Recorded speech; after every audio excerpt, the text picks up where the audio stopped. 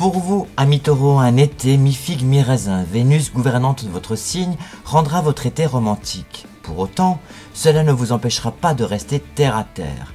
Le joli trigone entre Vénus et Neptune du 2106 amplifiera votre magnétisme qui se traduira par une séduction débordante.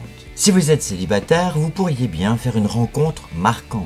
La nouvelle lune du 10 juillet sera extrêmement conflictuelle, car au même moment le carré Vénus-Uranus viendra fragiliser vos relations conjugales si vous êtes en couple.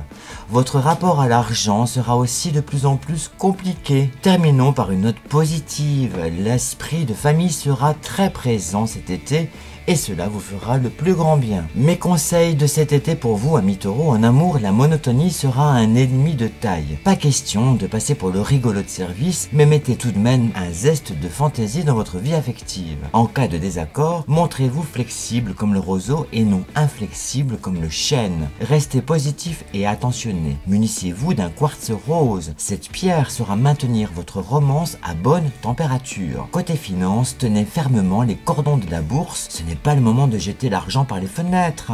Surtout ne puisez pas dans vos économies. Bel été à vous. C'était vos prévisions astrales pour cet été 2021 que je vous souhaite excellent.